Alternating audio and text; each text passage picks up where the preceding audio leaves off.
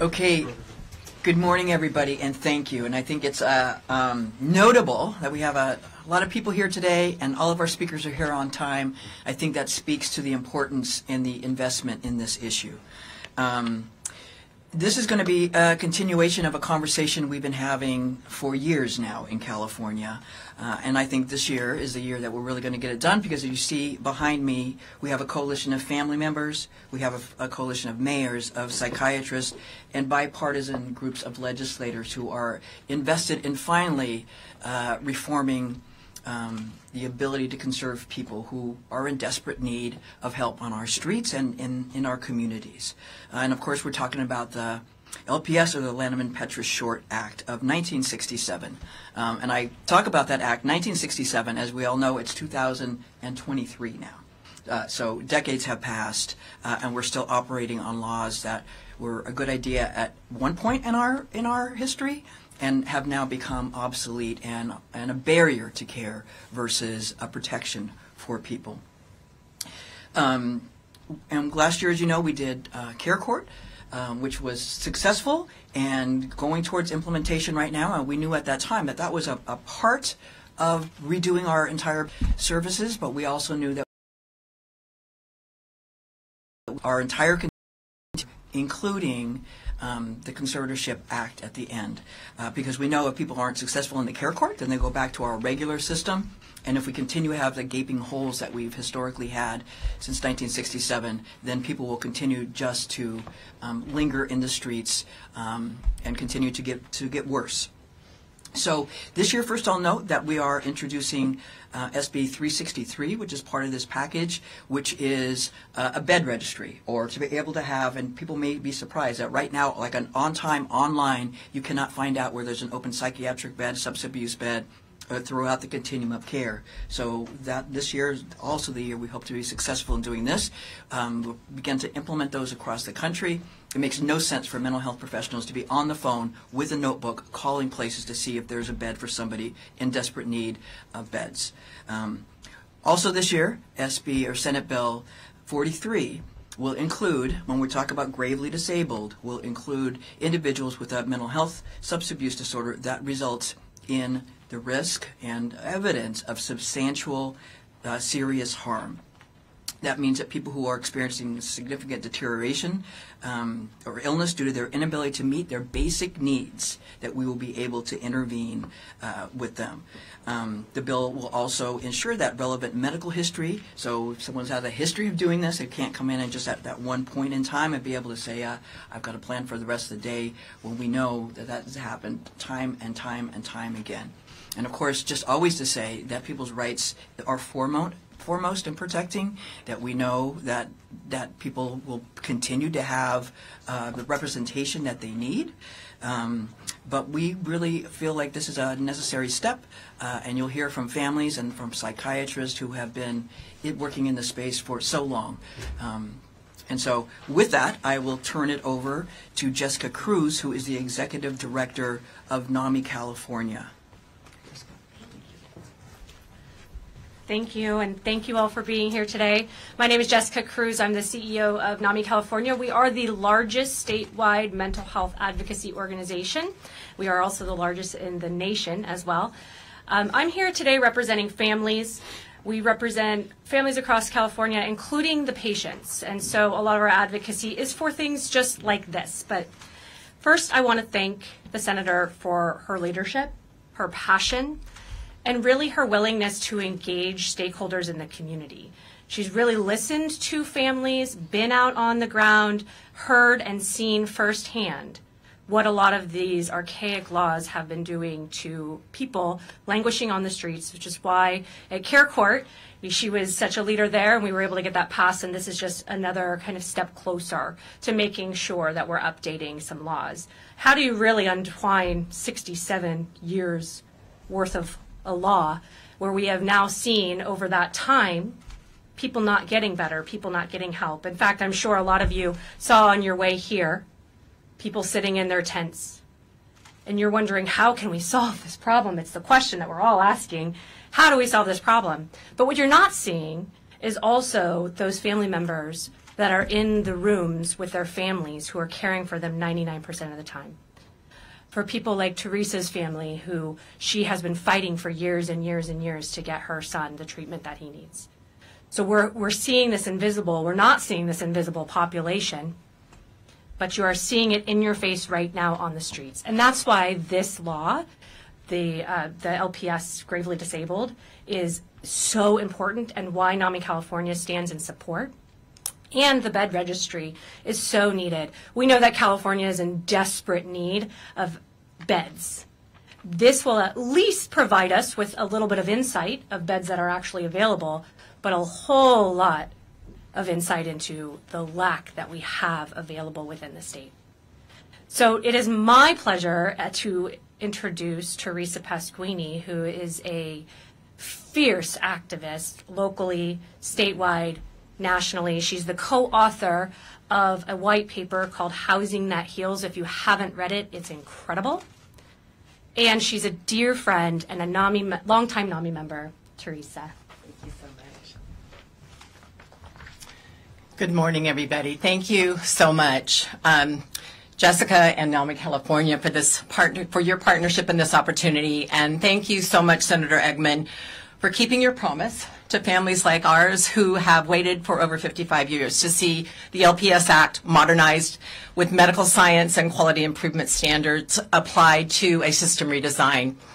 Um, this is another civil rights fight of our lifetime, and families are ready to stand with you um, and help our loved ones live with their rights on.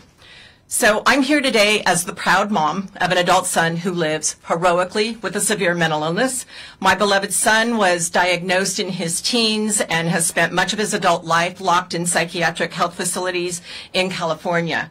He's been 5150'd over 40 times, uh, deemed gravely disabled, and has remained on an LPS conservatorship for the past 21 years. Still, he has experienced every jagged edge of every broken piece of the California private and public health systems. But because of luck and heroics uh, and access to appropriate medically necessary treatment, my Danny is currently living in safety and recovery at Synergy's Nueva Vista campus in Morgan Hill in Santa Clara County. It is what I call housing that heals. And after 20 years of being failed, jailed, treated, and streeted, my son is finally receiving the right care at the right time and in the right place. But that care is not available to all the families whose loved ones have developed no-fault serious brain diseases that can rob their voluntary decision-making capacity to seek safety and care to prevent grave disability. And I don't want anyone, anywhere, anytime, to experience the suffering that my family and my son have experienced. So I'm here today as a representative voice of families of the most severely mentally ill population. We are partners in care who have become lifetime caregivers and curbside caregivers without adequate support. And we are terrified of dying and worry about what will happen when we're gone. So we are all shattering the silence that has shackled our loved ones, families, and communities for too long. Our voices growing louder, stronger, and united and we have partnered with patients for years, but we will no longer settle for the status quo that has forced too many of our loved ones to die with their rights on. Families like Mark Rippey and Maddie Delaney, two, two of many. We must all do a better job of building common ground that will offer a bed instead of a jail cell, a street corner, or a coffin, and it's time to prevent danger to self and others, not require it. It's time for a right to treatment before tragedy. It's time that we all care together. Thank you.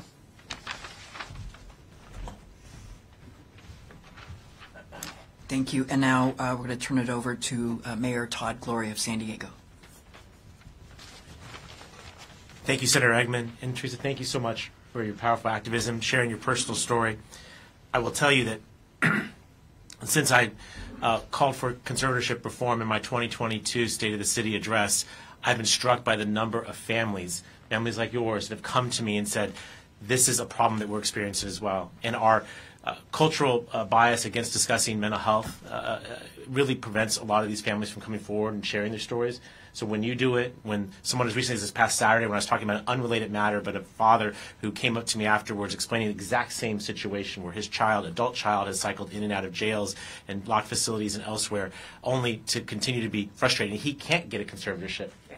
Uh, and this is a gentleman uh, with some affluence, some some uh, some privilege in San Diego. His remark to me was, "With all that I have going for me, and I can't get this done, what is it for the least amongst us, for families that don't have these resources, for adult folks suffering with mental illness who don't have a parent who can engage like this?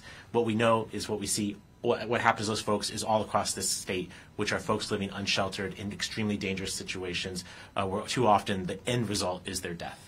And I think we're all here to say that we want better for this population. We want to empower families to take care of their loved ones, not to have to fight the state and the county to get this work done, but actually put these people in a better place. And I think the average Californian says the same thing.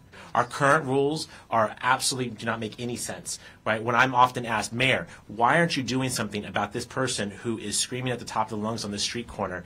And I say, well, they're not a threat to themselves or to others. That rings hollow. And I, when I deliver that message, it doesn't feel good to me either right? Because I know that person is sick. I know they need help. But I know that we, our current rules sets the bar so high that we can't help that individual. And we're going to wait until they become a larger expense to the taxpayer uh, before we choose to intervene, and often it comes too late. This is why I'm passionate about this issue. This is why I'm truly grateful to Senator Eggman for her persistence on this issue.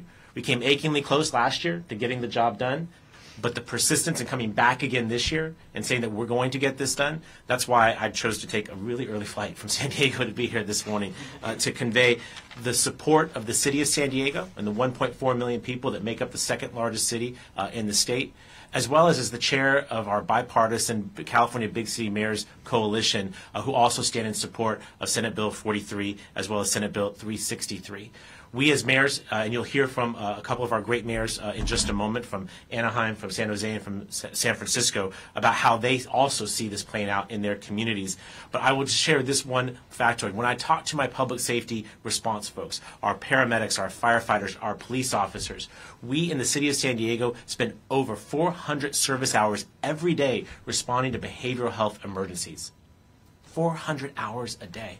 And when you consider that you might have an emergency, whether it's criminal or medical, and you may get put on hold or it takes too long to get a response, you know that a part of that is because we're not properly caring for this population that has a chronic illness that we can try and treat in a more suitable setting. So that's a part of why I'm here not just because families like Teresa's do better than what we're currently giving them, not just because San Diegans and Californians are constantly asking, why can't we do better by this population? The current answer makes no sense. But here on behalf of a community that wants better public safety responses, that want to make sure that our trained professionals are responding to where they are needed, not to the ongoing rep- rep- repetitious chronic mental illness that we currently have. I was a member of the state legislature for many years, or for several years, and I would observe that no piece of legislation that is old as LPS um, is not worthy of updating. Clearly, it is. Even the strongest proponents recognize that California in 1967 is not California in 2023.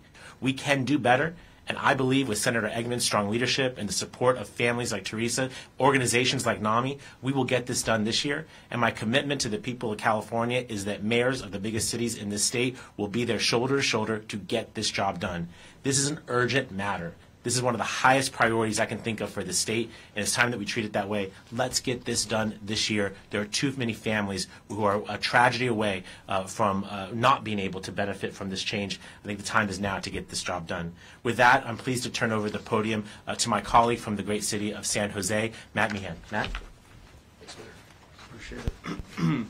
Good morning, everyone, and I want to especially thank Senator Eggman for her leadership on expanding mental health care to our most vulnerable populations. And thank you to all the elected officials and community leaders standing here together today to advocate for our most vulnerable.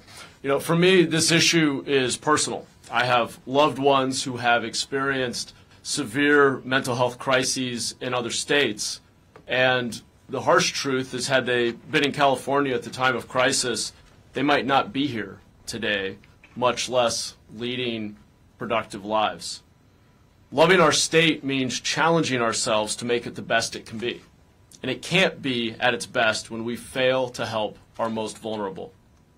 California fails when a mother advocates repeatedly for her child to get the help they need to no avail. California fails when our residents end up behind bars without even being in a state of mind to determine right from wrong. California fails when a child has to bury their father because his profound mental distress keeps him from accessing the treatment he needs for a manageable disease. And California fails every day when we leave our most vulnerable to die on the streets without care. It's our responsibility to stop failing Californians. Though it may seem like common sense, finding treatment for folks with an acute mental health or substance use disorder who cannot take care of themselves and compelling them toward help is often profoundly difficult for healthcare providers and families. The conservatorships we're here to talk about today are a last resort. No one wants to take legal responsibility for another's well being without compelling justification. But for those suffering on our streets with no ability to provide for themselves due to mental illness or addiction, we have a moral obligation to demand better from our system and facilitate their recovery. It's the opposite of compassion to let people live and die on our streets, especially in a state with the fifth largest economy in the world. In my home county, Santa Clara County, nearly 40% of our homeless neighbors and a quarter of our jail population suffer from serious mental health challenges. Tackling mental health care reform and creating a system that allows us to help our most vulnerable neighbors will move the needle on many other issues, including homelessness and over incarceration. There's nothing more worthwhile than standing up for our neighbors experiencing the most acute conditions who do not recognize or accept or are unable to accept help. California doesn't have to fail any longer. So I'm hoping that together, with this great coalition behind me, this will be the year that we get care to our most vulnerable neighbors and solve a problem that has been decades in the making and is one that is very much within our grasp to solve. So thank you to everybody standing up here for your leadership and I'm proud to say on behalf of the city of San Jose that we are all in to bring about this reform. Thank you. And next up, we're going to hear from uh, Mayor of San Francisco, Mayor London Breed. Thank you, Senator, and thank you everyone for being here, especially this amazing coalition of people. Um, I can tell you that probably everyone in this room has probably a story about a friend, a relative, a loved one, a neighbor, or someone that you know that has been in crisis and you wonder why isn't anyone doing anything? Why can't anything be done? When I was on the Board of Supervisors before I became mayor, I remember a gentleman, um, and I won't use his real name, but I'll use the name James. James was really an active member of the community and worked hard every single day in construction. And one day, uh, he was hit with some equipment that led to a traumatic brain injury. And so instantly, uh, James was hospitalized, had to go through recovery, but was never the same and eventually he suffered from you know alcoholism drug addiction schizophrenia and a number of other issues that continue to persist today. Now james is a really great person and very loving and very sweet uh, when he's focused when he's out there in the community and he's talking to people. He's homeless uh, he continues to struggle but every now and then he gets very violent um, and he does a number of things in the community that call for people of the community to make phone calls to the police. And the police know him because he's considered a frequent flyer. They have conversations with him. They try to get him help. He's been in and out of the shelter system. He's been arrested. He's assaulted a police officer before, and he continues to be on the streets to this very day. In fact, he's a senior. Um, every time he gets his you know, social security check and he tries to cash it. He gets robbed, his money gets taken. And the community has taken it on, on themselves to be kind of the caretakers of James. There's a place that gets his mail. Sometimes people let them let him sleep in their stores. And what they've said to me time and time again, why can't we do anything? Why can't we provide support and treatment? During this process, in addition to him being arrested and going into the hospital and, and going through the challenges that continue to persist and trying to help this one individual, there was a time when we were going to be able to get him conserved. Uh, State Senator Scott Wiener, who's joining us here today, um, helped to push forward a conservatorship law that would have allowed us to move people like him through a conservatorship process. Uh, but unfortunately, um, when the time came in court and the person who provided the diagnosis wasn't available to give testimony and be in court, the entire case was thrown out.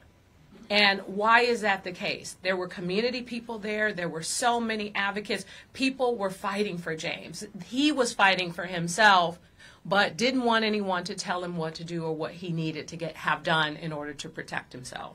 And I think that's part of why our system is broken and part of what uh, Senator Eggman is trying to fix with these uh, collective of Senate bills that will help to change the definition so that, for example, that same clinician who diagnosed James could just provide a written detailed report that could be used to make a decision about whether or not someone like him should be conserved.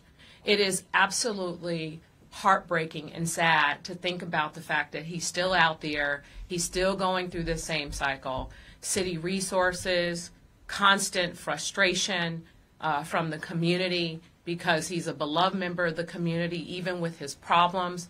And the fact is, the system is broken and it's not working. And why is it fair? He doesn't have anyone advocating for him other than the community. He has no family, he has no support, he has no money. And this, hopefully, will make a significant difference in changing that. The fact is, as much as we uh, talk about mental health, especially after this pandemic with everything we've gone through, when you think about many of the diseases that come into play, like schizophrenia, bipolar disorder, and other things, dementia, Alzheimer's, this could happen to anyone at any given time. And the system as it is set up is failing people. It's failing people in crisis. And this is a part of doing something about it. So I stand here in full support of uh, SB 43 and SB 363 uh, because they are needed. Uh, the time is now. Uh, we cannot continue to wait. Uh, care courts has been great, uh, but at the same time, we have to do more. In San Francisco, we've implemented uh, alternative because oftentimes you're calling 911 when someone's in crisis and the police show up. Well, now we have an alternative, the Street Crisis Response Team. They've responded in a year and a half to over 14,000 calls. And half of those people we've tried to get into support. And in many cases, they've had to be 5150. But then what's next? We can't force them into treatment. We can't force them into a better situation. We can't force them even sometimes into the housing that we may have available for them. And that is a tragedy, and that is something that needs to change. So, my hope is that these common sense changes to an outdated law will help make a significant difference for those who are struggling in crisis whether they have an advocate or not. The time is now to make change, and I'm looking forward to seeing that change happen and making sure that we have the resources necessary to implement it so that those lives on the streets can be saved. And with that, I want to introduce the mayor from Anaheim, uh, Mayor Aitken. Thank you, Mayor Breed. Um, today we come together to advance and support California's leading role in addressing homelessness. And I want to thank my colleagues that are here today in Sacramento for their leadership um, on this issue, as well as our coalition here and the partnership with cities like Anaheim and across our great state. And I believe that cities, and by default mayors and councils, are really on the front lines of this crisis. In Anaheim, to give you a city perspective, we're proud of the leadership that we have taken in Orange County to address this issue. Since 2017, Anaheim has opened up four shelters to serve our city, as well as expanding our flagship shelter. And as a result, since 2019, we have had our unsheltered population decline by 30%. But to assist those still living in homelessness, we respond daily with outreach offering shelter, services, and a path to permanent supportive housing, a much needed and often talked about need. And thankfully, many of the people that we've outreached to have accepted our services and are on their way in their journey to independence. And I'm proud to have cha- been a part of changing those lives. But these victories are often overshadowed by our greatest obstacle those homeless individuals suffering from mental health challenges that are made worse by living on the street. Because it is hard to get healthy, it is hard to get sober, it is hard to become whole when you are living on the streets. In Anaheim, we are able to dispatch mental health clinicians, crisis intervention specialists as part of our interactive programs. And we do try to lead with compassion as we recognize that letting people suffer with mental illness on the street is simply inhumane. And at this stage, and in partnership with the state of California, we must embark on the next phase of addressing homelessness. We commend California for taking a bold step forward with the CARE Act and the help that it's going to bring our residents in need. But we must work together to update our approach for handling these most challenging cases. We need to broaden our definition of someone who needs intervention to ensure that they get the help as soon as possible. And we must couple that with real time insight on the availability of psychiatric, crisis, and drug treatment beds to get people where they need to be. Senator Eggman's bills will do just that. And I am proud, as the representative from Anaheim, to support that legislation, and I thank you for your leadership on these important issues. In Anaheim, we stand ready to implement these changes in continued partnership with the state. Thank you very much. I'd like to call, please, Senator Scott Wiener. Thank you, uh, Madam Mayor. First of all, I just want to, from the bottom of my heart, uh, thank uh, my colleague Senator Eggman uh, for leading here. She and I uh, uh, facilitate our mental Senate Mental Health Caucus together, and it is amazing to work with her. She is fierce. she doesn't take no for an answer, and she's going to get the job done. And it's my honor to be her wingman on this critically important effort. You know, we, we know that the fundamental solution to homelessness is housing. Uh, despite what some uh, say, the fundamental solution to homelessness is housing. We know that most homeless people do not have mental health or addiction problems. They're bringing their kids to school, they're going to work, but they may be waking up in a car or a shelter or couch surfing. But we know that there are homeless people who do need mental health support and support with their addiction.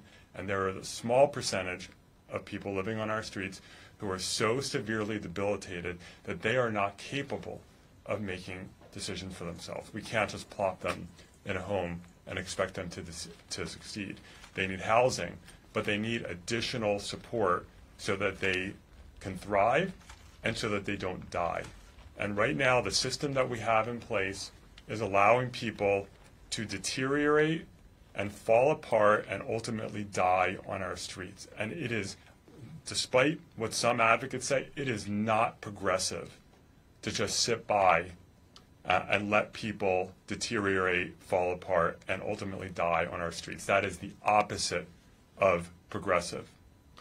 Uh, and so this effort is not about some sort of mass institutionalization, like some people would say in a very alarmist way. This is about a very focused and targeted effort uh, to take the folks who are dying on our streets, the people who are, you know, people come up to me in San Francisco when they say that that, that woman, every day I see her standing in the middle of the streets screaming at cars. Why is no one doing anything about it? Or that man, I see him every day sleeping in his own excrement. Why is no one doing anything about it? Because the laws are broken. And we have an opportunity to fix those laws for these human beings it's always it's so easy in modern society to become numb, and we see this devastation on our streets, uh, and we just people just ignore it. You screen it out because it's too painful to acknowledge that that is someone's son or daughter, that that is someone's husband or wife, that that's someone's mother, that that's someone's best friend. It's too painful for people to even process what that means, and we have to al- always remember and process that and react by working to save their lives. Um, there are people, um, because of some avalanche of press coverage about Britney Spears, who think it's easy to conserve people in California. The exact opposite is true. I know someone in Los Angeles whose mother was suffering from severe dementia. He needed to conserve her. He could not get a conservatorship for his mother in California and had to go out of state to get a conservatorship. That's the actual state of conservatorship law in California.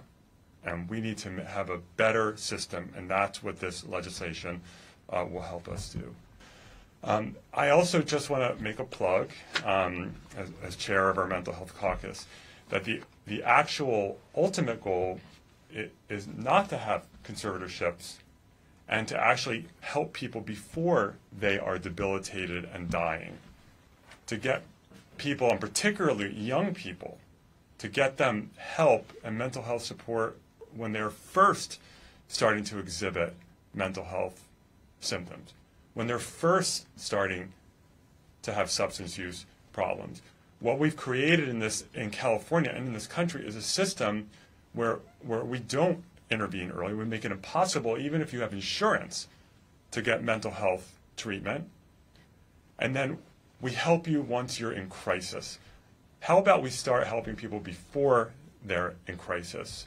Uh, and so I know we're going to do a lot of great work this year in the conservatorship realm and around mental health generally. And again, Senator Eggman, and, and I want to thank my own mayor, Mayor Breed, who has been just a staunch, consistent supporter uh, of this effort from even before uh, she was mayor. So thank you. And I now want to uh, bring up uh, this is again a bicameral, bipartisan effort. Um, Assembly Member uh, James Gallagher. All right, good morning, and thank you uh, for being here today. I, I, also want to start by thanking my colleague, Senator Eggman, um, who I've been able to stand together with on several issues since we've been in the legislature. Um, but this has been a, a big one for us um, that we, we both recognize, and this is a very bipartisan effort, that policy needs to change here. And there's been a lot of great things said um, by the previous speakers, um, but I think you can really summarize it in, you know, this is there is no silver bullet uh, to solving this issue. It is a multi-pronged uh, approach. You know, we do need to remove stigma from mental health. We need more mental health professionals uh, that can help serve people, uh, you know, throughout our state. Um, you know, care court, you know, I think is a good step in the right direction. But I think the key fundamental principle of what we're talking about today is that without policy change, without statutory law change, you cannot solve the problem. Uh, and we see this in countless communities throughout the state. Every city is experiencing this, that we have this cycle of devastation, of human devastation on the streets, of people who we all know need help and literally cannot get it because of the current law. It needs to change, and that is why we are pursuing this. That's why we've been doing this for several years. And I think this year is going to be the year. Um, and it is true, as was said, that you know Senator Eggman, when she is on something, she is relentless uh, and that's why I love working with her because I'm the same way. Um, is that we need to get this done this year. Um, you know, there's been a lot of different things being said about this um, that are really inaccurate and they're not true.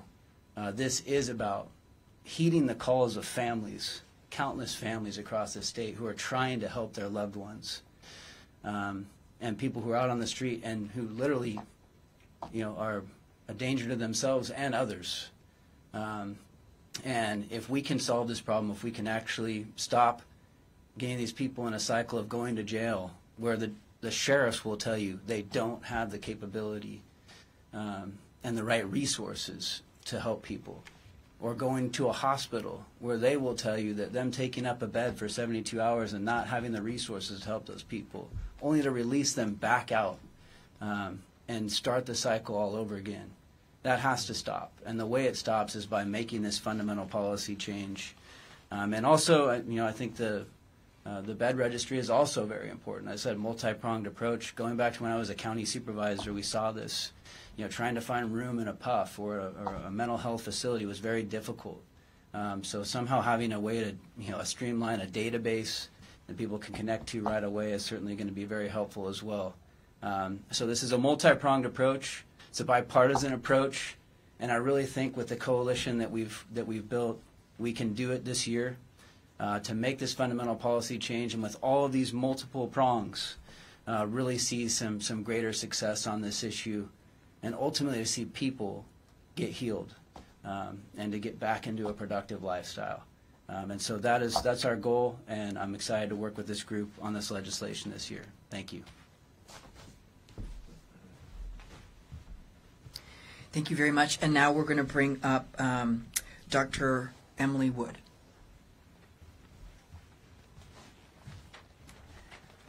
Hi, I'm um, Emily Wood. I'm representing the California State Association of Psychiatrists, and we are um, very proud to co-sponsor Senator Eggman's um, mental health package this year.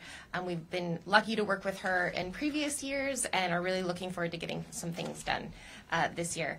Um, we know that appropriate reform of state law is is vital to improving the lives of the, the mentally ill patients who we treat, and um, and really it's vital to improve the lives of their families and their loved ones. This is what we need.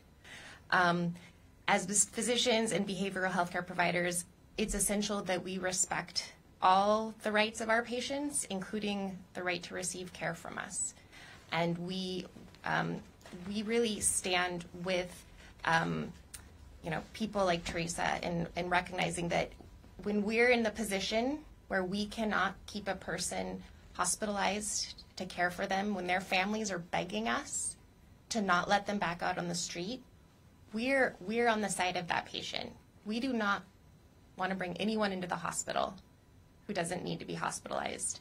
But when that time comes and we cannot protect them, it is devastating for us as providers. It is this is part of what it means to have physician burnout. These sorts of problems. And we want to be able to work with our patients and their families to keep them safe.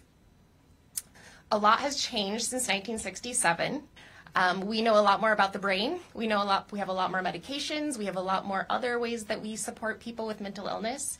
Uh, the DSM, which uh, is one of the ways we define um, psychiatric disorders, has changed multiple times since then, and really the law is very outdated. Um, we really need to recognize that um, we continue to stigmatize mental health, and even within mental health, we continue to stigmatize um, substance use disorders, and that's part of what SB uh, 43 is is going to help us with is understand that that all of these brain disorders are something that we can we can help with. Um, I think it's really critical to recognize that um, while the people on our streets, the ill people on our streets are, are um, people we can see, there are thousands of ill people languishing in our jails who should not be there, who should be getting mental health support, who are not getting any currently. And we should be ashamed, frankly, of, of, of that fact in California. Um, and so, you know, I, I've been talking to street psychiatrists in Los Angeles. I've been talking to um, alternatives to incarceration, diversion folks. I've been talking to um, alternative crisis response folks, people who are going to work on 988 and bringing that out. And everyone agrees that we need some things to change, and part of it is LPS law. I really like what um, Senator Wiener brought to the fore also is that this has to come with the resources to treat patients. Um, that is that is what we'll we'll need. Once we have people and we can keep them to treat them, we need the resources to be there. We need Medi-Cal to actually pay for um, all of the disorders that that people need to be hospitalized for. Um, so these are things that are, are going to have to keep coming down the road with. Um, but this year we're going to do this with Senator Eggman, and um, we're really excited about it. Thanks. And then our, our uh, final speaker is uh, Dr. Colin Shumate, uh, uh, also from the Psychiatric Physicians Alliance of California.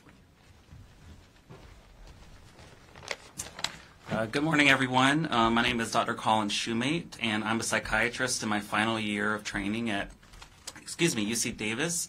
I'm proudly representing the Psychiatric Physicians Alliance of California, another statewide association of psychiatrists.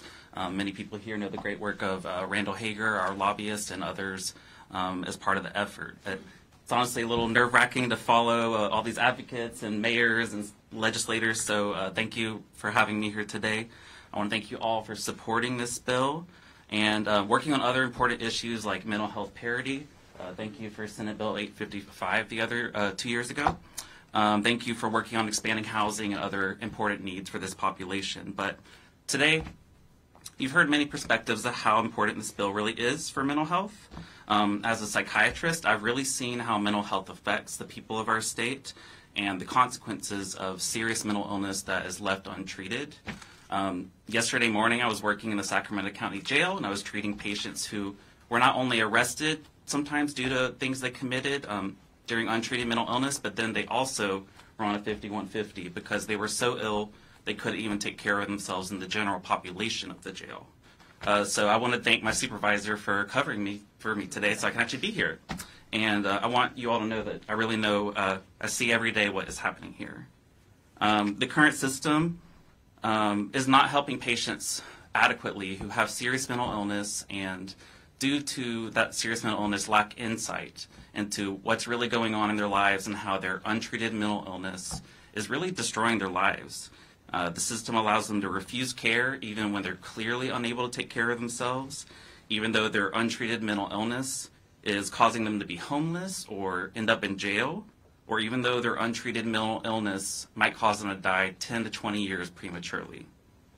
Senate Bill 43 would address some major issues with our current laws, which unfortunately allow people to fall through the cracks of our safety net in California. The current law is interpreted differently depending on where you live and who's making the decision. Right now, a person might be released to themselves with a bare minimum plan uh, and resources, like such as a plan to sleep in a dumpster and to get food from that dumpster, even where if that's where they came from, and even if there's a, a strong possibility they might freeze to death that night.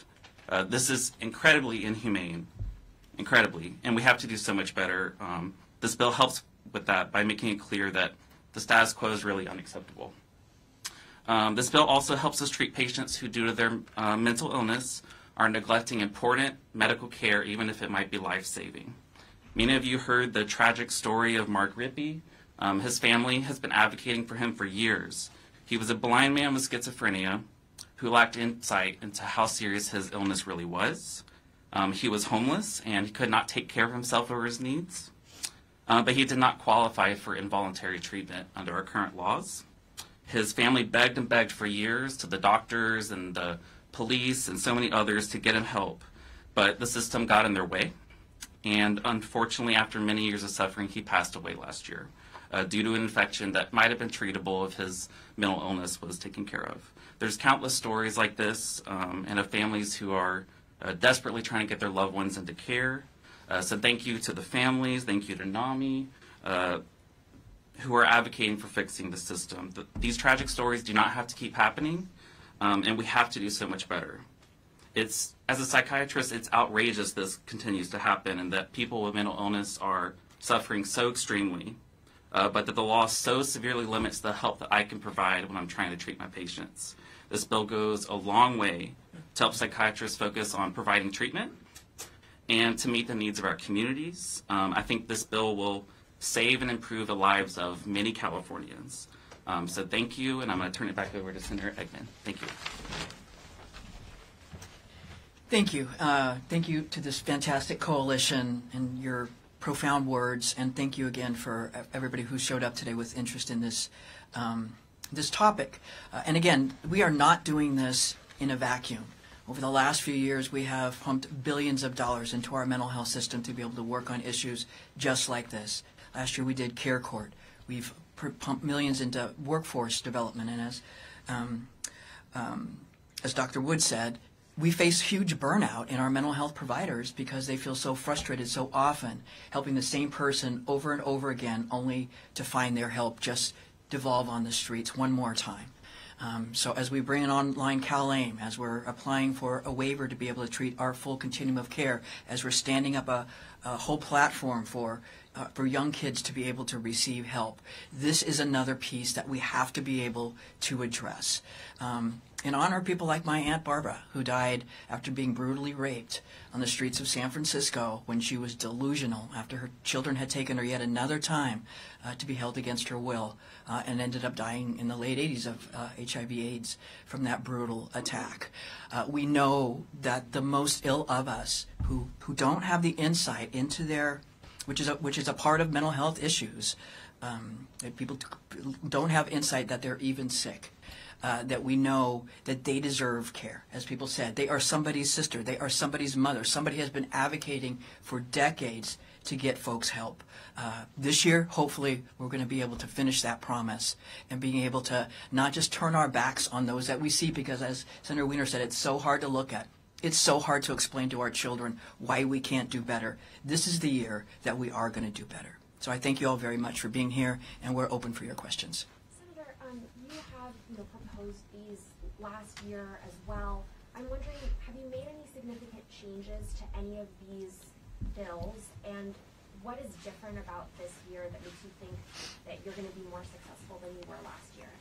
Um, yes, we have. I mean, we, we've actually expanded it a little bit more to be able to really taking in from all the professionals the things that actually needed to be addressed, like like lack of insight, like lack of a plan, like and if it, it can be a mental health diagnosis or a substance abuse diagnosis, because we know the end result uh, looks very much the same. And as Dr. Wood said, they're all as part of the DSM, which is how we what we use to diagnose. Um, so we've taken input from everybody, and we've actually expanded it a little bit, uh, not just to say that you're going to deteriorate uh, physically, but in all kinds of ways of deterioration. Um, there have been some changes in the other house uh, that we think uh, is going to be more helpful for this bill to be able to go forward. Last year, as you remember, last year we got all the way to the very end with very with two no votes, I think, in the entire 120 body legislature, and we weren't able to get a hearing in, in the in the committee. Uh, this year, we feel very uh, optimistic that we'll be able to get all the way to the end. Um, and we've had good talks with the administration about signing the bill when it reaches their desk. So just to, I'm sorry, just to follow up on that, um, you know, it was it was really concerns from like civil liberties type groups that prevented these bills from being heard in the Assembly Judiciary Committee. Um, are any of the changes you made, do any of those address those concerns um, that that sort of stalled those bills last year? We're always happy to have conversations with people. I think you, you might have noticed the editorial in the Sac Bee just over this last weekend as they were railing against the care court.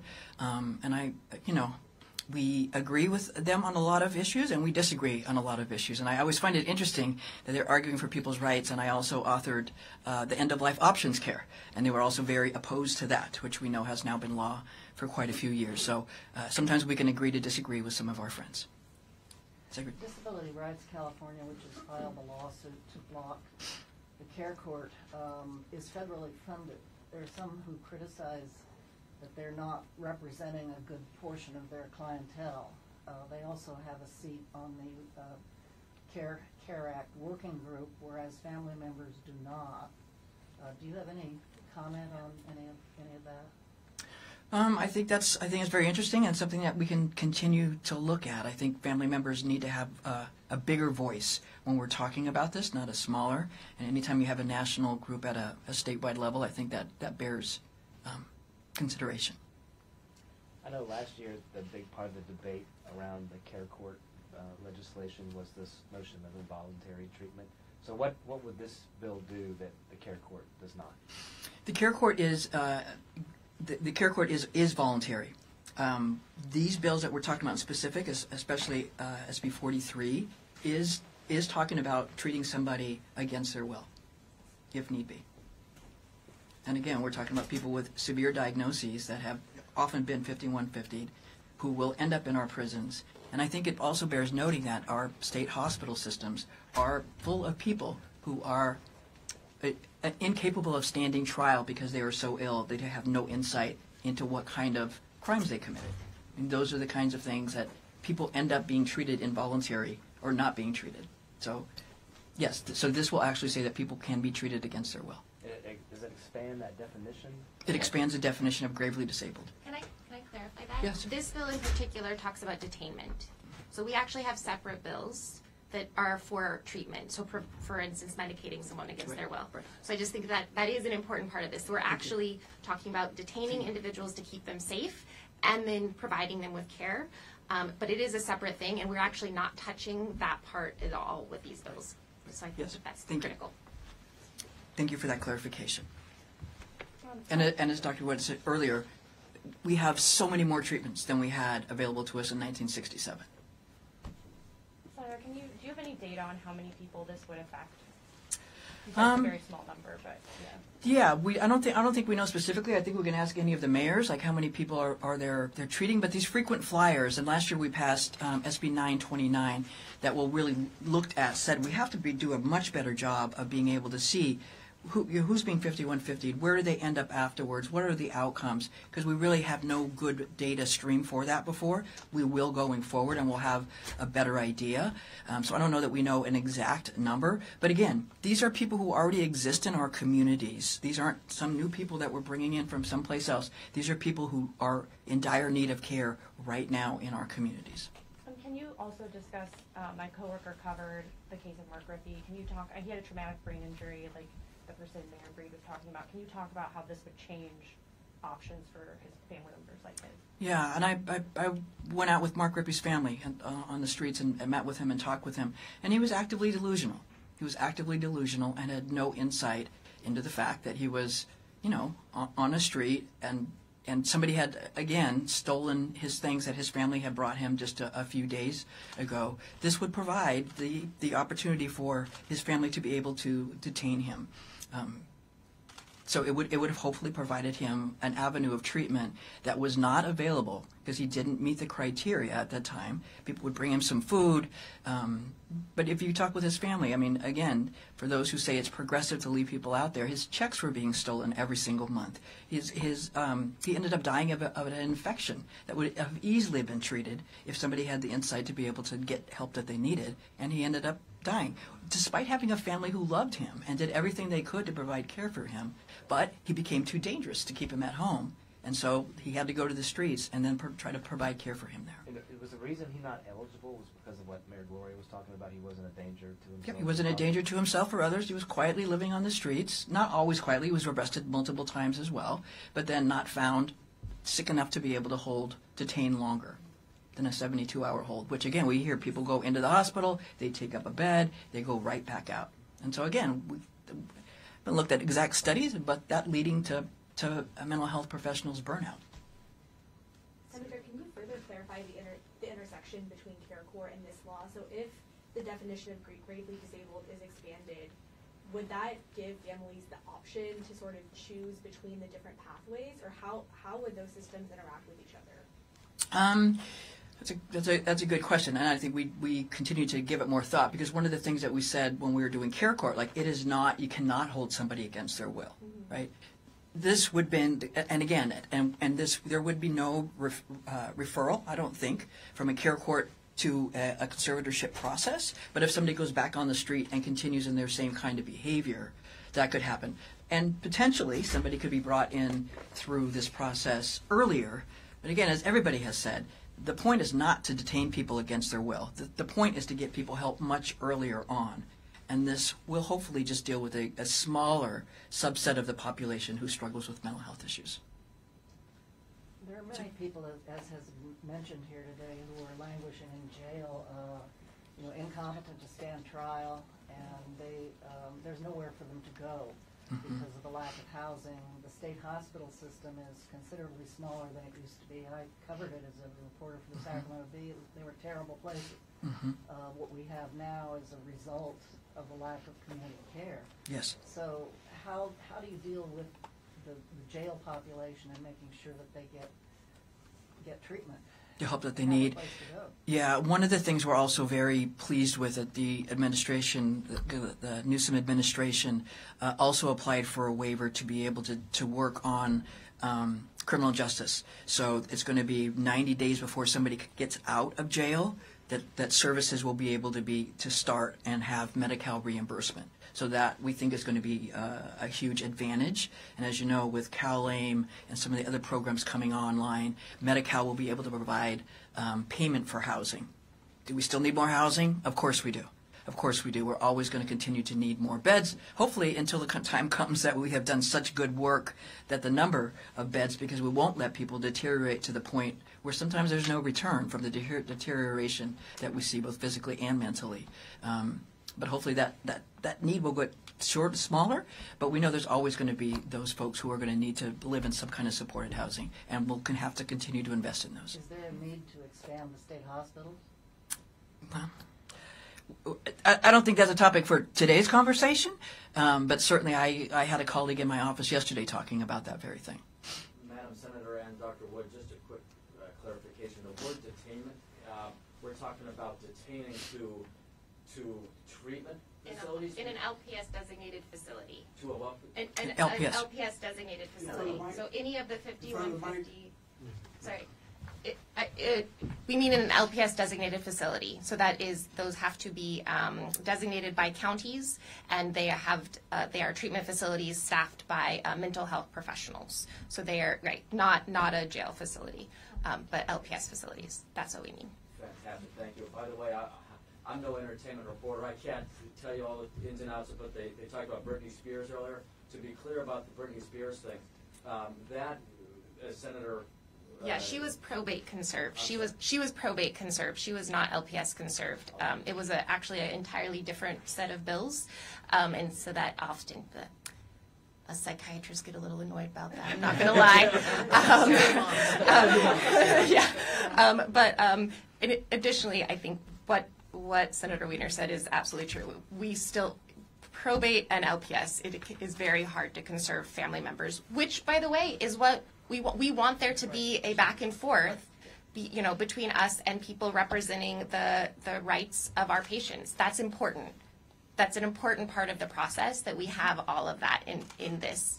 Um, in this network, but um, as it currently stands, it's very easy for uh, for a person to say, "Well, I as as was mentioned, like I could live in that box and get some food out of the dumpster, and I have some clothes on me. So I have a plan, um, and whether or not they even do that plan currently doesn't matter. Like even even accomplish that doesn't matter, and we need to be able to look sort of at their past and whether or not that's a good plan, and we need to have more options for them. And is the detainment just like indefinite in terms of how long it is? And then in terms of the, the you mentioned the medicine is different. Can you kind of just clarify that? A 5150 hold is a 72 hour hold. To uh, um, be able to hold someone longer, you have to put them on a um, 5250, which is a 14 day hold, and that always requires that there be a, um, a hearing, uh, a probable cause hearing.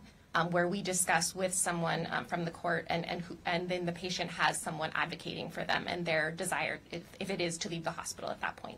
Um, and then there's a whole set of um, 53 things that go on to um, the process of going towards conservatorship. But but we're talking about very, time limited detainment periods here.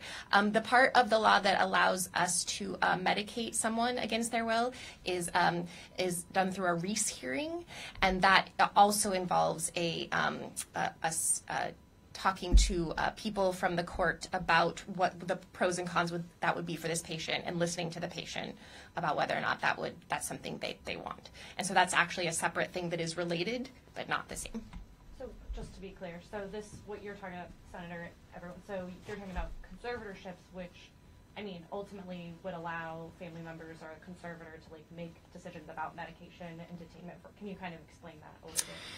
So, the, so, and, and the doctor's probably better uh, equipped to, to answer this than me. But this is not. We're not anticipating that people or family members are going to be bringing people to be conserved. That is not the process. And again, as the doctor said, you have to go through the 5150 and then the 5250, and there's a there's a whole process involved. Um, there are public guardians, and, and especially in some of our larger cities, that can take on that role. Uh, and sometimes it's a family, sometimes it's somebody else designated by the, the county. Um, and but then the Riese hearing still exists. Right.